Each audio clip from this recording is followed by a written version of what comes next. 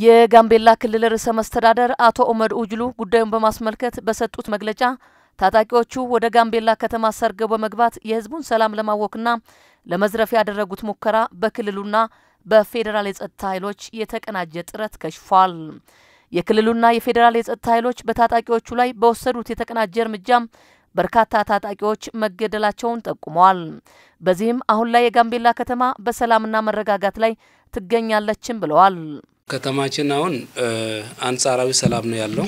የጠላት ኃይል በሙሉ ኃይሉ ደፍሮ የገባበት ሁኔታ ነው የነበረው። ምን አይነት ድፍረት እንደሆነ ደፍሮ ከኃይሎቻችን ጋር ሲዋጉ ሙሉ በሙሉ የተደመሰሱበት ሁኔታ እንዳለና ከተማችን በአሁኑ ሰዓት በጣም የተረጋጋ ነገር ግን የኛ ኃይል ሙሉ በሙሉ ከተማ ተቆጣጥሮ በጥሩ ሁኔታ ላይ እንደምንገኝ ነው። የከተማዋ ነዋሪዎች ከመንግስት የጸጥታ ኃይሎች ጋር በመሆን ጥቃቱ እንዲከሽፍ ላበረከቱት አስተዋጽኦ ርዕሰ መስተዳደሩ ምስጋናቸውን አቅርበዋል። የከተማዋን ሰላም በማስጠበቅ ረገድ የጸጥታ ኃይሉና ህብረተሰቡ በቅንጅት እየሰሩ መሆናቸውንም ተናግረዋል። በከተማ አሁን ላይ ከመንግስት የጸጥታ ኃይሎች በስተቀር ከምሽቱ ሁለት ሰዓት በኋላ መንቀሳቀስ የማይቻል ስለመሆኑም ገልጿል። ህብረተሰቡ አካባቢውን ነቅቶ እንዲጠብቅና የትኛውም አይነት አጠራጣሪ ጉዳይ ሲገጥመው ደግሞ በአቅራቢያው ለሚገኙ የጸጥታ አካላት በመጠቆም ትብብር እንዲያደርግ ርዕሰ መስተዳደር ኦመድ ኡጅሉ ጥሪያቸውን አቅርበዋል። ለመላ የጋምቤላ ክልል ህዝብ በተለይ ለጋምቤላ ከተማ አምስቱ ቀበሌዎች ነዋሪዎች የማስተላለፈው መልእክት ቢኖር በአሁኑ ሰዓት የተሸሸገ ጥላት ካለ በቅርበት ላለው የጸጥታ ኃይል በማጋለጥ ወይ ከገቡበት የግለሰቦች ቤቶች እያስወጣችሁ ወይንም እያጋለጣችሁ ለጸጥታ አካሉ እንድታስረክቡ በዚሁ የሁላችሁ ትብብር እንጠይቃለን።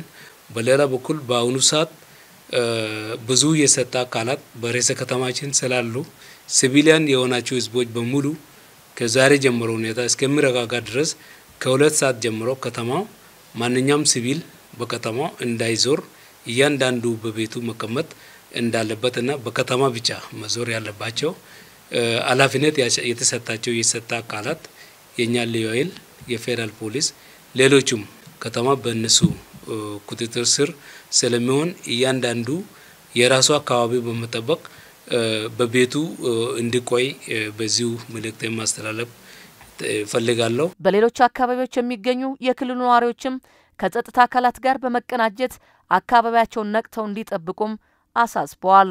በሌላ መልኩ ከከተማ ውጭ ያሉት የጋምቤላ ክልል ሶስቱ የብሔረሰብ አስተዳደር ዞኖችና ወረዳዎች እዛ ያሉ የኛ የሚሊሻ ኃይል በተለይ እያንዳንዱ የራሱ አካባቢ በመጠበቅ ለምን አሁን ይህ ጥላት መጣበት በአንድ አቅጣጫ ስላልሆነ ሳይታሰብ እንደ ዛሬው ባላችሁበት ሁኔታ ወይም ቦታ ሊገቡ ስለሚችል በእናንተ አካባቢ የተመደበው የመንግስት የጸጥታ ኃይሎችና የአካባቢ ሚሊሻ አካባቢያቸው ወይም አካባቢያቸው እንድትጠበቁ ጥሪ በዚህ አስተላልፋለሁ።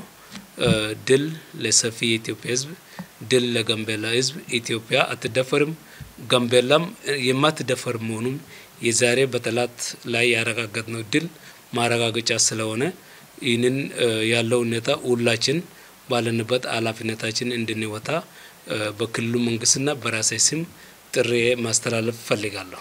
የሽብር ቡድኑ ታጣቂዎች በከተማዋ በተወሰኑ ግለሰቦች ላይ ላደረሱት የህይወት ጉዳትም ርዕሰ መስተዳደር ኦመድ ኡጅሉ በክልሉ መንግስት ስም የተሰማቸውን ጥልቅ ሐዘን ገልጸዋል።